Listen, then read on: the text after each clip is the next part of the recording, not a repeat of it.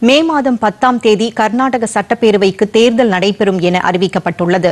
இருநூற்று இருபத்தி நான்கு தொகுதிகளை கொண்ட கர்நாடக மாநிலத்தில் நடப்பு சட்டப்பேரவையின் பதவிக்காலம் மே மாதத்துடன் நிறைவடைகிறது.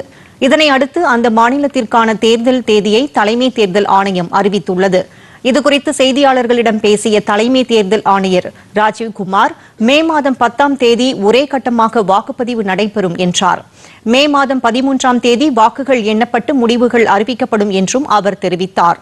இந்த தேர்தலுக்காக கர்நாடக மாநிலத்தில் ஐம்பத்தெட்டாயிரம் வாக்குப்பதிவு மையங்கள் அமைக்கப்பட உள்ளதாகவும் தேர்தல் நடத்தை விதிகள் உடனடியாக அமலுக்கு வருவதாகவும் அவர் கூறினார்.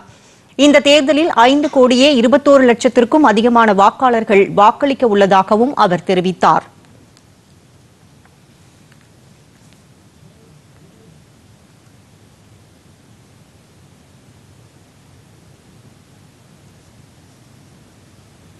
The Gazette notification would be issued on 13th of uh, April. Last date of making nominations would be 20th of April. Date of scrutiny would be 21st April 2023. After that, the withdrawal of the candidature can be up to 24th of April.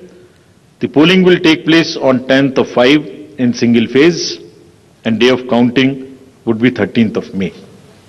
So this is the schedule for the Karnataka election. Through the friends from media, I want to appeal to all the voters of Karnataka, young, urban areas, rural area, PVTGs, women, transgender, PWDs, senior citizens, to please come forward and take part in the festival of democracy.